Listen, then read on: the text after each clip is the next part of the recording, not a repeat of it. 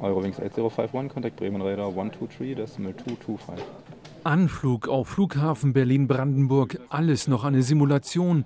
Aber Birte Cordua und ihre Fluglotsenkollegen trainieren für den Umstieg auf das neue Flugsicherungssystem ICAS.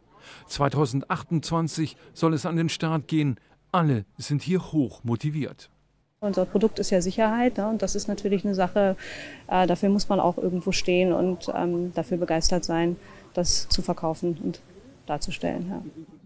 Den Himmel sehen die Fluglotsen der deutschen Flugsicherung DFS nicht von ihrem Arbeitsplatz, dafür aber jeden Jet im unteren Flugraum über Nord- und Ostdeutschland. Die Kontrollzentrale in Bremen besteht seit 50 Jahren. Unsere Fluglotsinnen und Fluglotsen sind 24 Stunden, sieben Tage in der Woche äh, da für diejenigen, die im Flugzeug sitzen bzw. die fliegen wollen. Und äh, wir führen den Luftverkehr über Deutschland, nach Deutschland hinein, aus Deutschland heraus und sind die stillen Helfer im Hintergrund.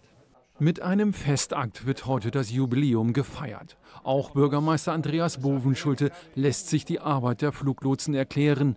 Bremen als Hochburg der Luft- und Raumfahrt und die DFS, das passt, sagt der Landeschef. 500 Beschäftigte, das ist eine Nummer. Damit gehört DFS zu den größeren Arbeitgebern in Bremen. Und was ich ganz besonders klasse finde, erstens das Durchschnittsalter ist relativ gering. Aber was vielleicht noch wichtiger ist, wir haben hier auch 60 Auszubildende im Moment. Das heißt, hier wird aktive Zukunftssicherung betrieben. Und das zeigt, es geht jetzt nicht nur ums Hier und Jetzt, sondern es geht auch um die Zukunft.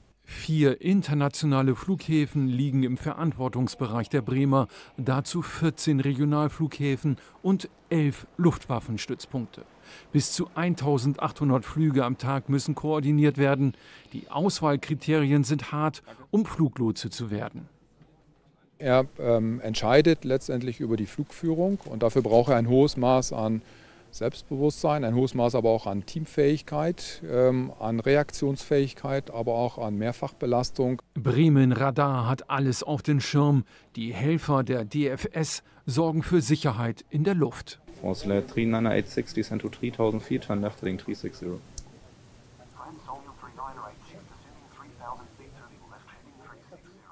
Eurowings 8051 reduce speed 220 knots or less.